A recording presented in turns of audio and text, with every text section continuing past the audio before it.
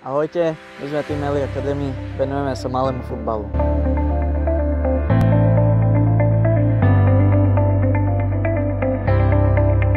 Sme pravidelným účastníkom Top ligy od roku 2018, keď sme hneď na úvod získali titul vicemajstra.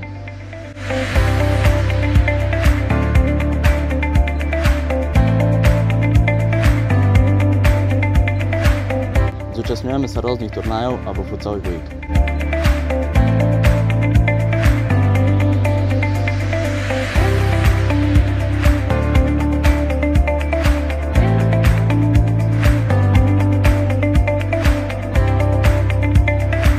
Taktiež si nás mohli zazrieť na majstrovstvách Slovenska v malom futbale v Piešťanoch.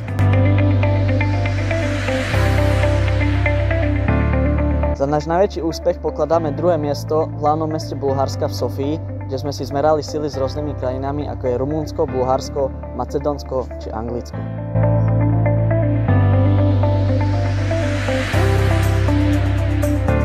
Peniaze z fondu by sme radi využili na kúpu nových súprav, dresov alebo na zaplatenie nákladov na rôzne turnaje, či už na Slovensku alebo mimo neho.